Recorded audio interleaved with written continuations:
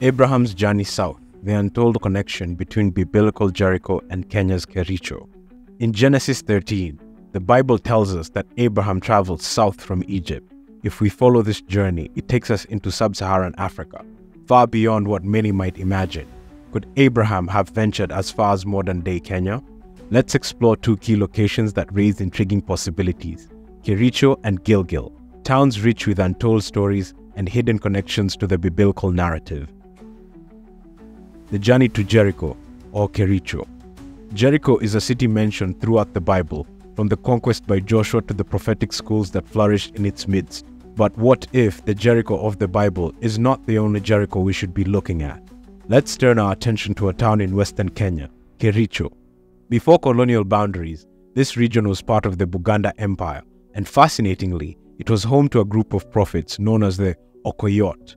These leaders played spiritual roles much like the prophets in the Bible, and some believe that Theodore Herzl traveled to Kenya in 1899 to contact the Okoyot, perhaps believing them to be the Levites of ancient times. Was this an attempt to reconnect with the lost tribes of Israel?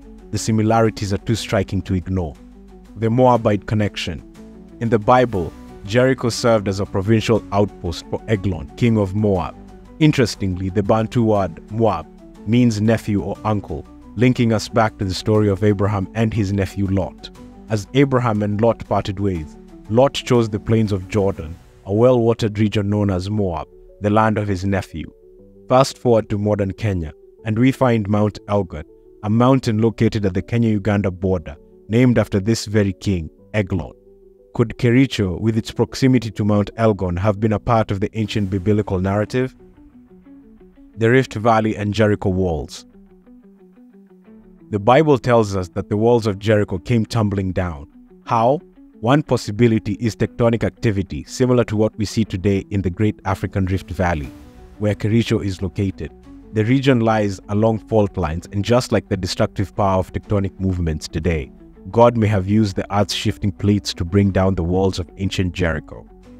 Gilgal and Gilgil, a military connection. Just as Gilgal was east of Jericho in the Bible, Gilgil lies east of Kericho in Kenya. In biblical times, Gilgal was the Israelites' first camp in Canaan after crossing the Jordan. It was here that God instructed Joshua to circumcise the Israelites, a ritual that symbolized their renewal as a people. Interestingly, Gilgil remains a military camp today, perhaps echoing the military operations launched from Gilgal as the Israelites embarked on their conquest of Canaan. Archaeology in Kariandusi Archaeological discoveries in Kenya offer further clues to this fascinating biblical connection. At Kariandusi, a site discovered by Louis Leakey in 1928, hundreds of Acheulean hand axes have been found. Could this ancient site have played a role in the distant past of the Israelites?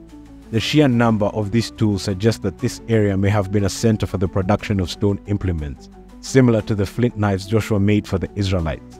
The history is deep and the evidence is there, waiting for us to uncover it the story of Ehud and King Eglon. In the book of Judges, we read about Ehud, a left handed warrior who killed King Eglon, ending his 18 year oppression of Israel. In Kenya, the word Bienjama refers to a person from the house of Njama, similar to Ehud, who came from the tribe of Benjamin, known for its left handed warriors. Archaeological research at Kariandusi has revealed evidence of left handedness in ancient tools, is it possible that this connection too traces back to an ancient shared history? As we look deeper into history, the links between Kenya and the biblical narrative become clearer. Kericho and Gilgil, ancient towns in the Rift Valley, hold secrets that may stretch back thousands of years, secrets that could redefine our understanding of the Bible's geography and the true journey of Abraham. Could it be that the southward journey of Abraham from Egypt led him to these lands?